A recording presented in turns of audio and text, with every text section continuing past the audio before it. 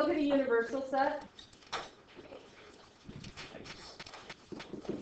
You're going to draw out what it represents. So I want the universal set are the natural numbers less than or equal to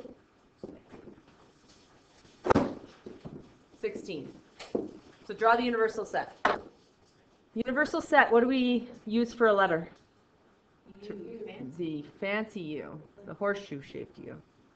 And we start at One, 1 and we go to? sixteen. Why to 16 and not 15? What is that the word equal to? Is the word equal to.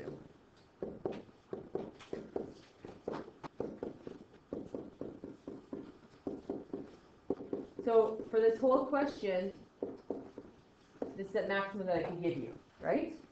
And because I give you the universal set, I can ask for complements. Because complements are what's not in a set. But I can only ask for a complement if I have a big set that limits you in numbers. Okay? So here are your three sets. A are going to be the prime numbers. So I want you to list them beside. And if you're listing them, what do they have to be in? Order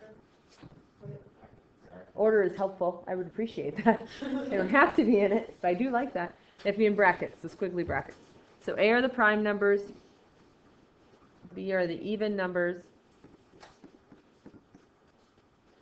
And C are odd numbers.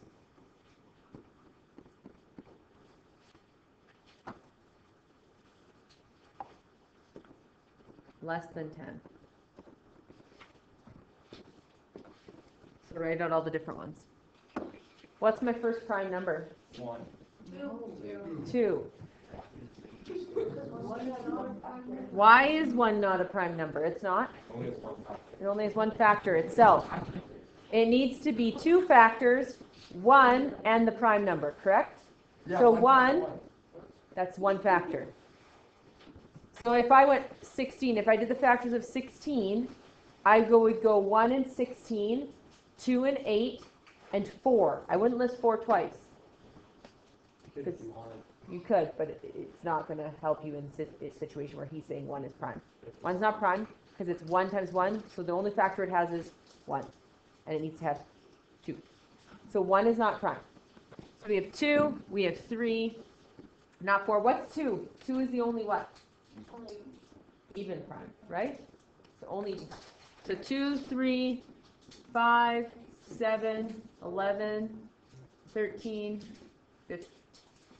Done.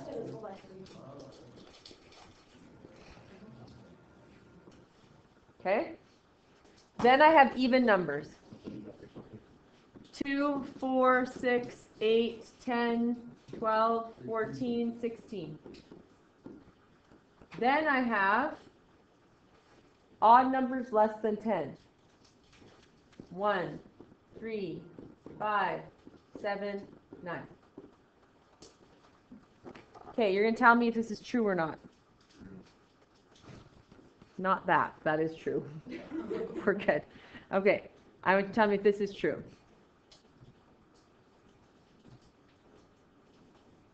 Don't say it out loud. Just tell me if it's true or not.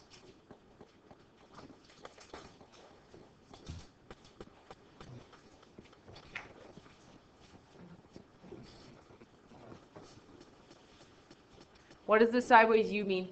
Subset. Subset.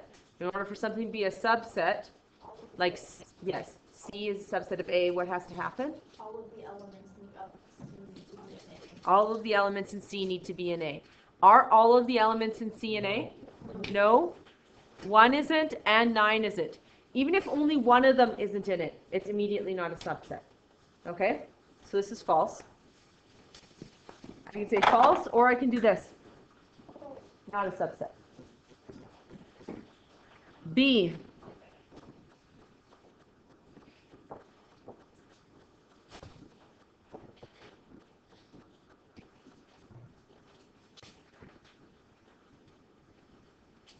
Is B a subset of U, the universal?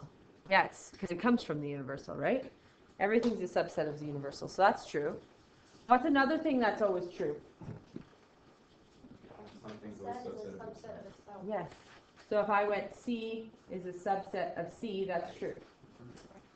What else is true?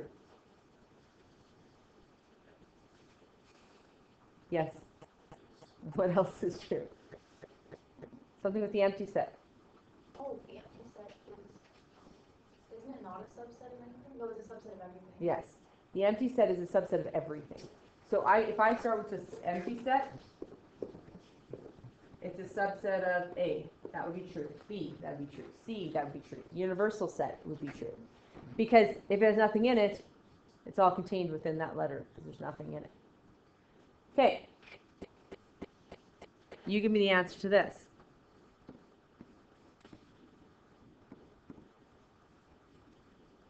I'm gonna give you four of them.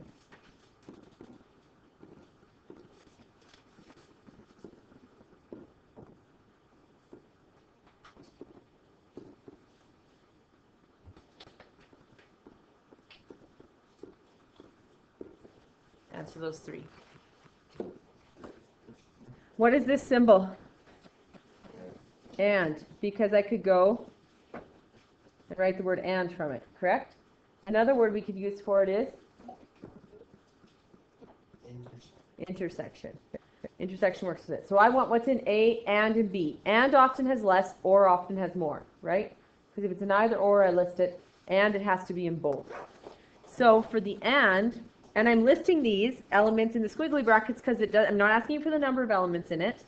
I'm not asking you for a little n in front. So you can list them all. So what's in A and in B?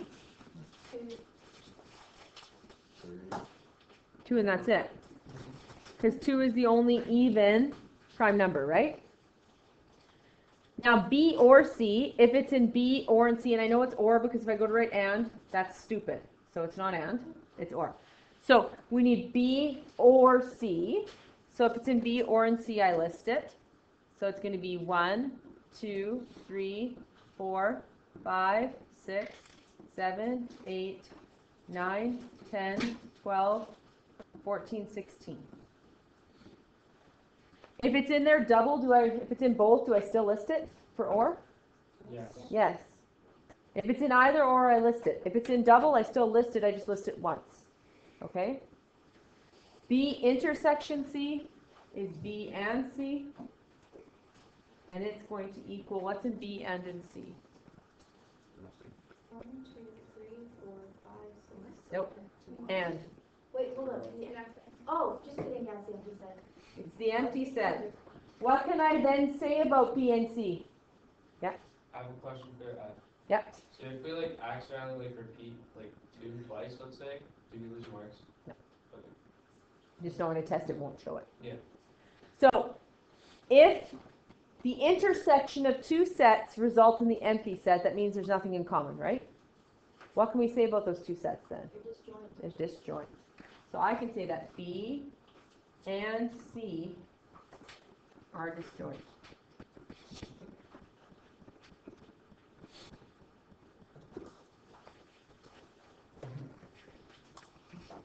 Okay, I'm gonna give you two more, and then we're going to notes. H, I want the complement of B intersection C. I, I want A and B or C. Try those two out. So with these ones where there was the not, I told you to list what the actual elements are in that. So the very first thing I would do before I would even do this question is I would go B not. B was all the even ones, correct? So not B would be 1, 3, 5, 7, 9, 11, 13, 15. So I want, and C was odds less than, I can't even remember what I said. 10? Thank you. So I want what's in both. If I list them, it's a lot easier for me to not make a mistake. If you choose to not list this B, not B, there's a way higher chance of making an oopsie, missing a number. Okay? So we don't want that to happen. So I want what's in B and C. One, three, five, seven, nine. What if I asked for this?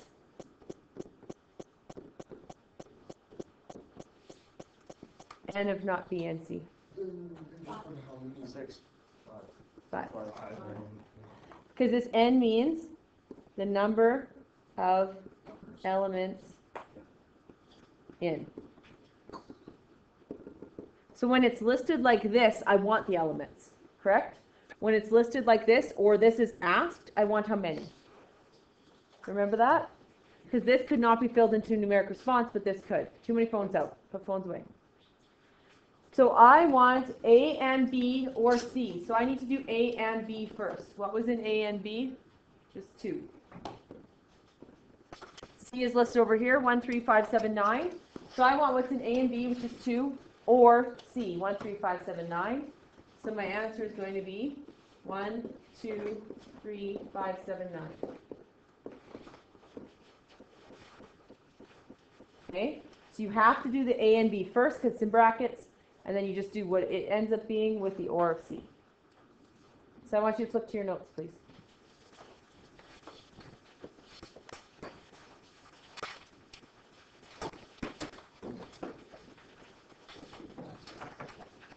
So, in here, we have to list the elements in P. What's in P again? Yeah, so anything that's in the P circle, right? It doesn't say P only, it's anything that's in the P circle. So I'm going to list 1, 2, 8, 9, 10.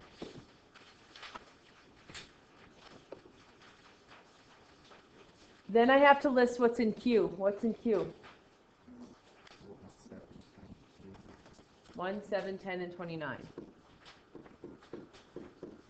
And once again, I'm showing it in brackets because I'm listing the elements in the set.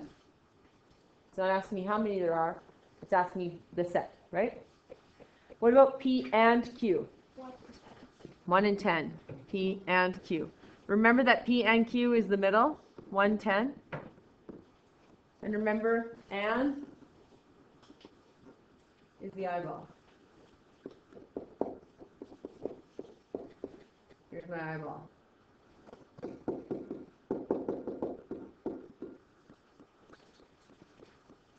So and, whether we're in a two Venn or a three Venn, and is always the eyeball shape. Everything that's in the eyeball. Okay?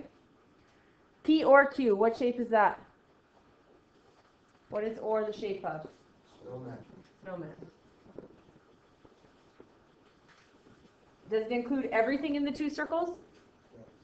Or do I exclude the eyeball? Yeah, if you excluded the eyeball, you'd exclude the middle of the stomach and it would just be a hill of snow. No. So, not P. What's in not P? Seven, eleven, sixteen, and twenty-nine. Yes, 7, 11, 16, and 29. I skipped the or for some reason. Oh, or is the snowman. So 1, 2, 7, 8, 9, 10, 29. Okay, not Q. All right, not Q. So in not Q, we have 2, 8, 9, 11, and 16. Okay, this is where it gets more complicated. Not P and not Q. So we would write this as not P and not Q. Oh, he always leaves it the worst times. He does. So if you have them both negated, we're paying attention, we're paying close attention. We don't ever want to do it in this form. So if both of them are negated, we're going to rewrite it. I'm going to explain to you how. So what you can do is you can actually, this is the exact same as going P, Q, flip this. So in this case, it would be an or, and put a not outside. So if they are both negated, you can rewrite them as not negated, flip the sign, and put negations outside. The reason why this is better is because this says not in P or Q. What is P or Q? What is or represented by? A snowman. So I want what's not in the snowman. No, muy bien.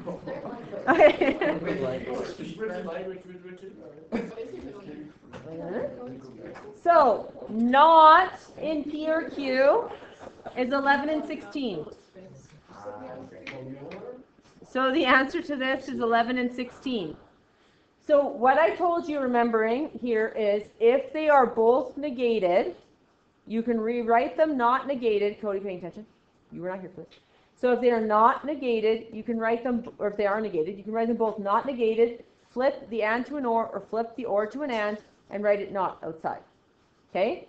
So if it's not or, then it would be everything outside the snowman. If it was not and, it would be everything outside the eyeball, right? So it's easier if you make them actually both positives and negative. So here we have not P or not Q. So now, if they are both negated, which they are right now, we don't want to use it in this form, right? We want to change it to the form where they're both not negated. So we're going to go P, Q, what happens to the or? It becomes an and, and the not goes outside, which is actually easier. Because I'm going to say what's not in P and Q. P and Q is the eyeball. So I want you to list everything that's outside the eyeball or the ant. So it's going to be 2, 7, 8, 9, 11, 16. So if they're both negated, that's what you're going to do. You're going to switch it. Okay? Now this is the difference. This one says not P or Q. So I have P or Q in brackets, and how do I write it? The not outside, which is actually the same as not P and not Q. These two are the same, G and I. So I'm going to get 11, 16. And then this one's P and Q not. Oops, the bracket in the middle for no reason.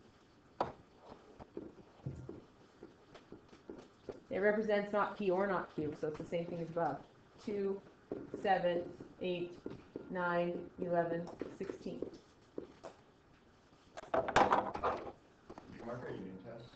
Mark, are you doing tests?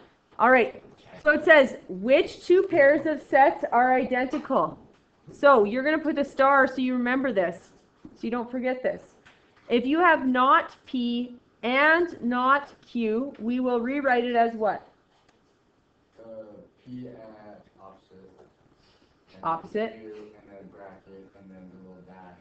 Not. So P or Q not. Yes. We're going to write this down. Okay.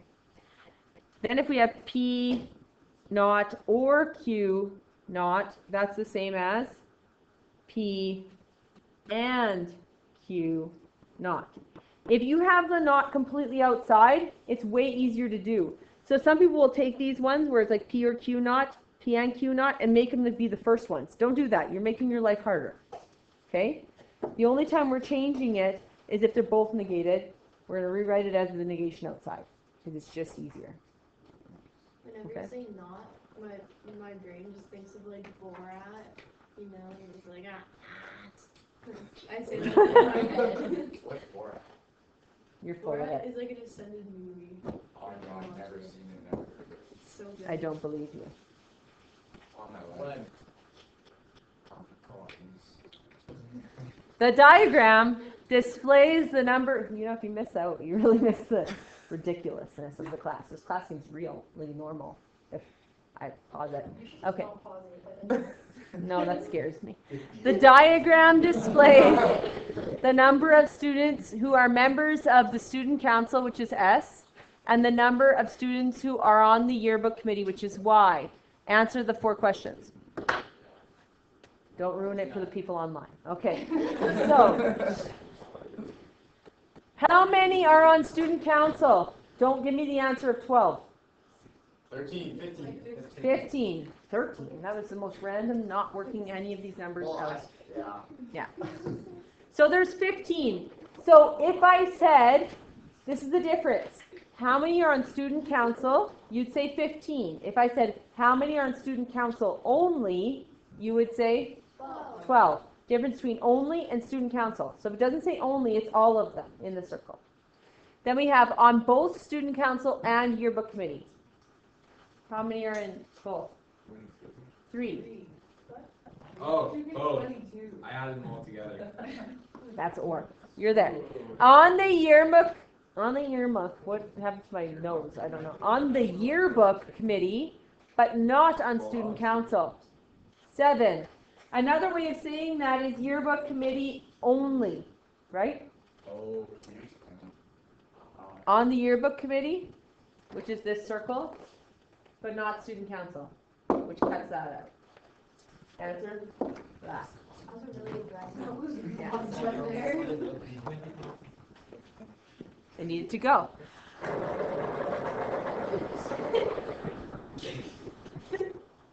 He doesn't even have a mask on.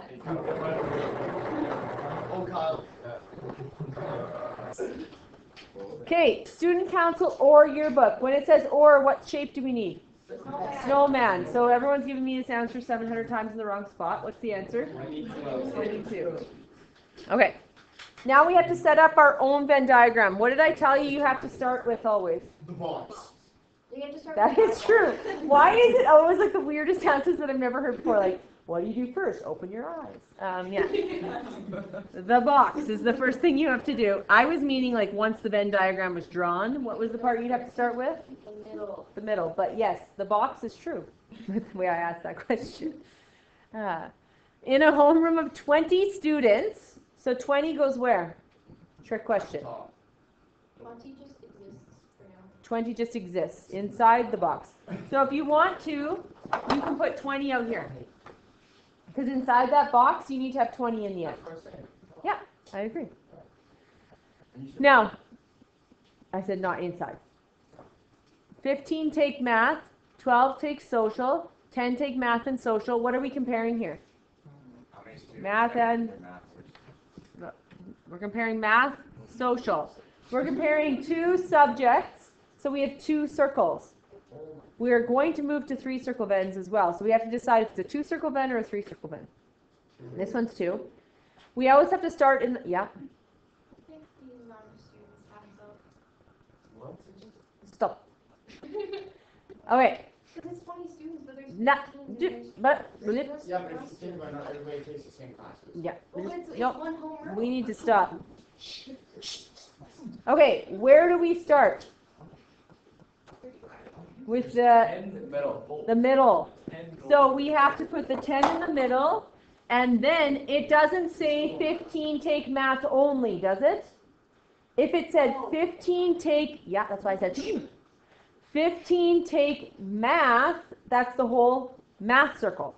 So I have to subtract. If they say 15 take math only, then I would put just 15 in there. Okay? But 15 take math. This is math. We happen to have 10 of them taking social at the same time, don't really care. I already have 10 in here. I can't double count those people, right? So how many would be in math only? Five. Okay, now social, 12 takes social. So how many take social only? Two. And then what did I tell you you can't forget to do? The outside. So, so there's gonna be three who take neither, math or social. Boom.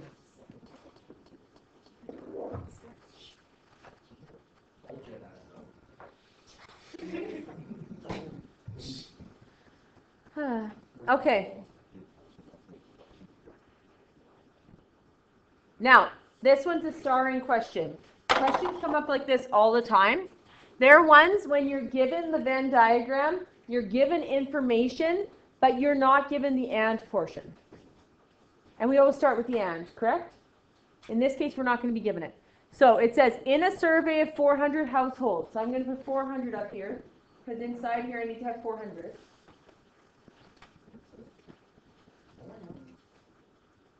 Two hundred and eighty-five have PVRs. So in here I need to have two eighty-five. And then multifunctional printers, three hundred and twenty. But can I put those numbers in right now?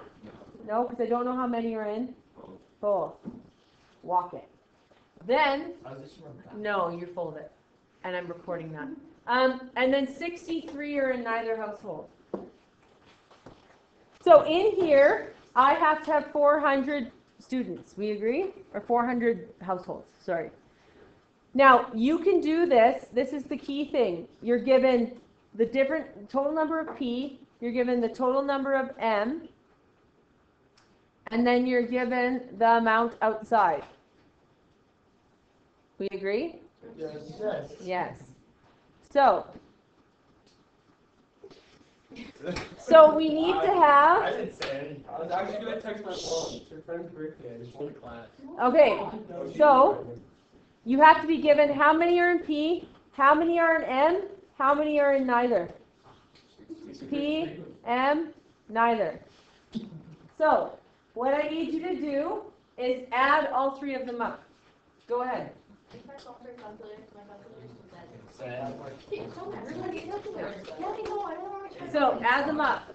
We're gonna add up sixty-three, the people on the outside, That's more. yep, plus two eighty-five, How do you minus it like more than? plus three hundred and twenty. So we have to be given all three. You guys, pay attention. You have to be given all three. So you're gonna have, you have to be given what's in P total, M total, and how many are not in either. So we're gonna add them up. We're gonna go sixty-three plus two eighty-five plus three twenty. If you add up all the ones in P, M, and not in both, and it's over four hundred, you've now just found out how many are in both. So if you add up the ones in P, you add up the ones in M, you add up how many are out here, it's going to be more than four hundred, correct? Yeah, yeah. How much is it? Six hundred sixty-eight. So that's how many people, it's like if they put in a ticket for owning a PVR and they t- put in a ticket for owning a multifunctional printer. If you put in the tickets for both, and then you t- put in the people who put in tickets for none of them, and you add them up, that's six sixty-eight. Subtract off four hundred is what? Yeah. Two sixty-eight. So two sixty-eight's in the middle. So like I said to you, you have to be given the amount to both and given the amount to neither. Now, if we take this, we can now figure out what's in the two separate ones, right? Mm-hmm. So in PVR, I should have 285. I'm going to take off the 268. How much is left over? 117. Just seventeen. Yeah. Two hundred two hundred. All right. M has three hundred and twenty. I take three twenty and I subtract off two sixty-eight. Fifty-two.